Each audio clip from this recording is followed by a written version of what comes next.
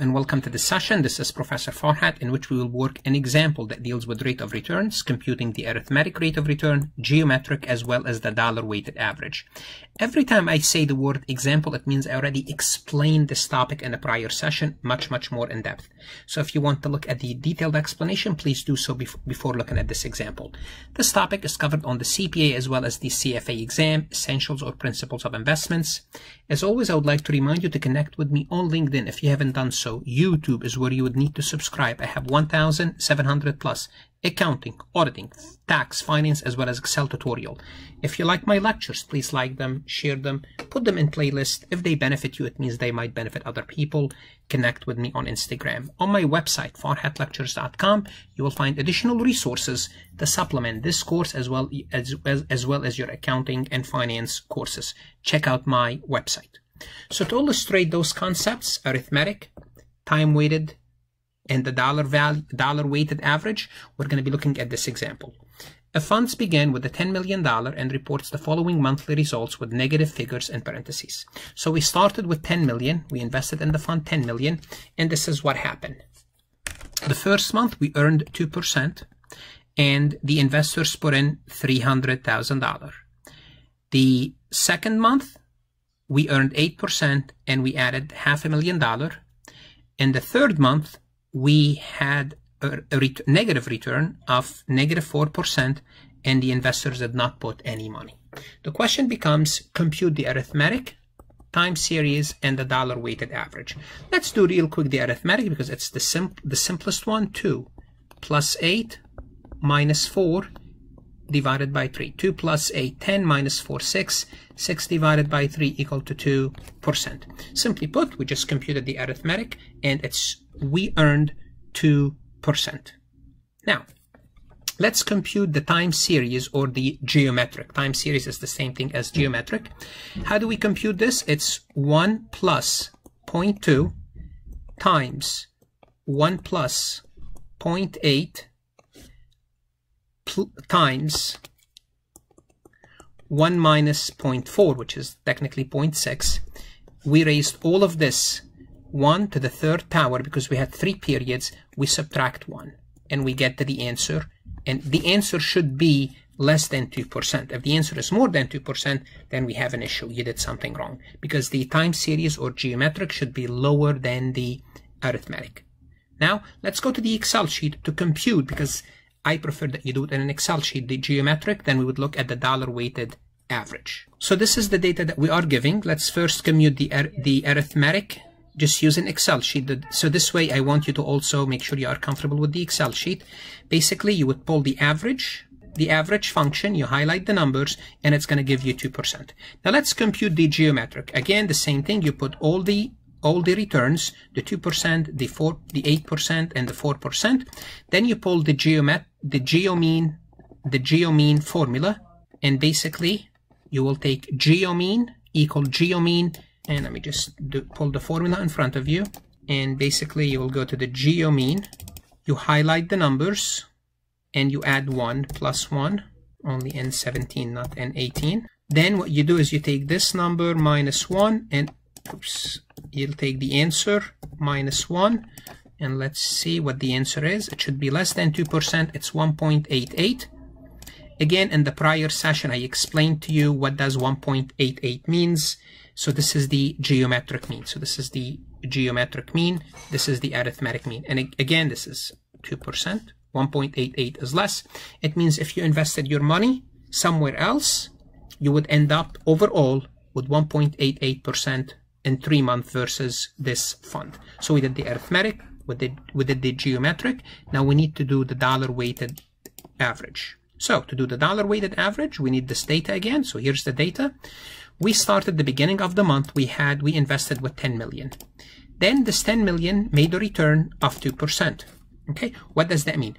It means I made $200,000, which is 10 million, 10 times 0.02 then the investor brought in $300,000. So let me add the $300,000. So what did I end up with? I end up with um, sorry, they, they, they brought in 3 million, not 300,000. I made 200,000. They bought 3 million. I end up with 13 million 200,000 the first month. The second month, I started the second month with 13.2, which is the the ending of the first month be becomes the beginning of the second month. The rate of return is 8%, so I'm going to take 13.2 times 8%, and that's going to give me a growth, a return of 1 million point one one million and fifty six thousand. Then the investors brought in 5 million. That's pretty good. The investor brought in 5 million.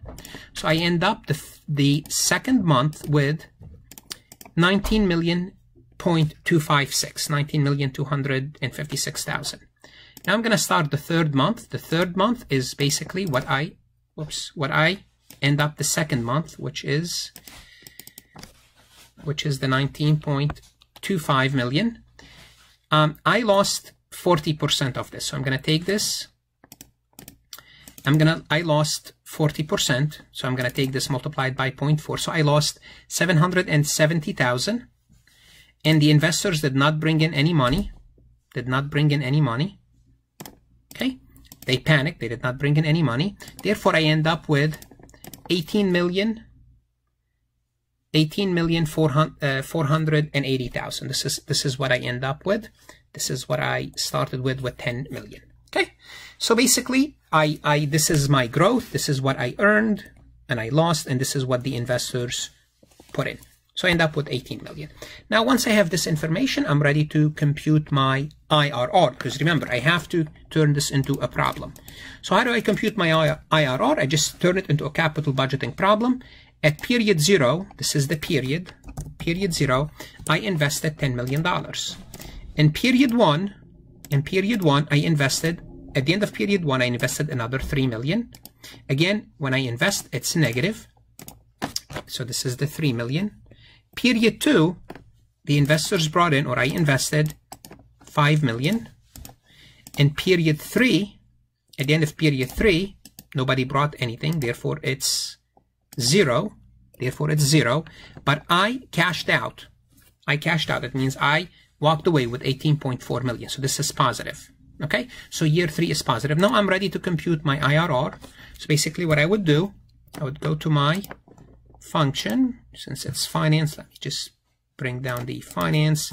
Let's go to my IRR compute my IRR the values let me just compute the values right here. Here are the values.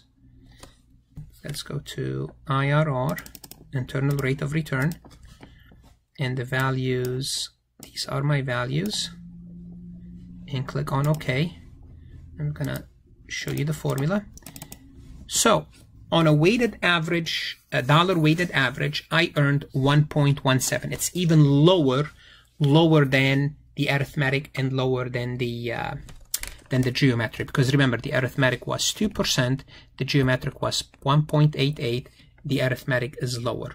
Why? Because although I made, although I made 2% and in one year 8%, but when I suffered the 40%, I had almost 20 million, a lot of money invested, and I suffered a lot all at once.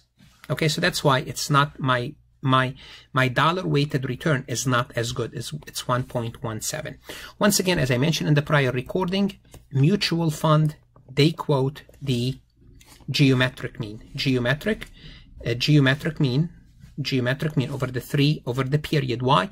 Because the geometric mean don't take into account the dollar amount because the mutual fund manager cannot control whether the whether whether the investors take money out. They have no control over that. All what they have control of is how well they invest the money.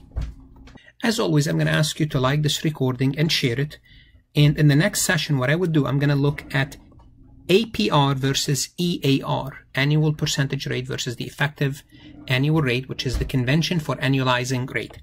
As always, also I'm going to invite you to visit my website, farhatlectures.com for additional recording, for additional recording and more practices if you are looking to increase your knowledge, improve your performance. Good luck, stud study hard, and stay safe.